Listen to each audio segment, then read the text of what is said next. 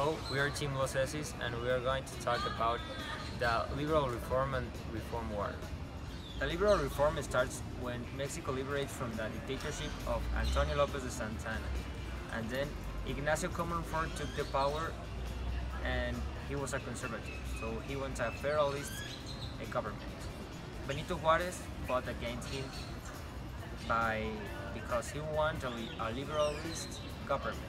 So in 1857 he wants and he he do a constitution, the constitution of 1857, and that establishes that the civil patrimony and the secularization of the cemeteries.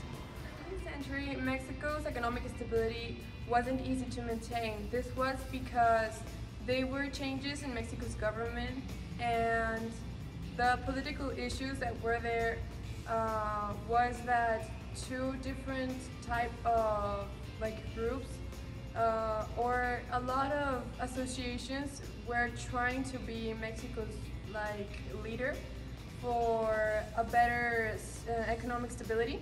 But um, unfortunately this couldn't be um, developed in Mexico's uh, economic stability because there were some issues that they weren't going to agree to work with to the same nation because if they were not going to do it as they wanted, there was going to be a conflict. So Mexico's situation went from bad to worse.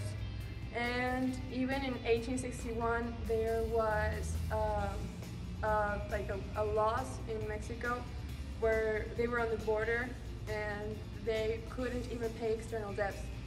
And finally, this economic um, crisis happened after two decades of Mexico's independence and made a huge controversial, controversial um, this economic crisis have to, uh, happened after two decades of the independence which made, uh, uh, made us Mexicans think about different ways of organizing ourselves and controlling our economic issues, for better or for worse.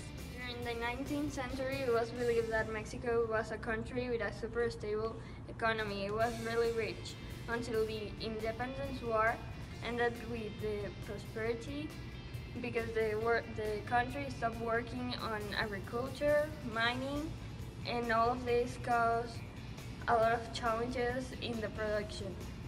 Another factor of the economy decrease was the decapitalization that was caused with the expulsion of the Spanish people. I'm going to tell about three historical events of the Reform War. In the beginning of the Reform period was the creation of the Plan de Ayutla, which removed Santa from the power.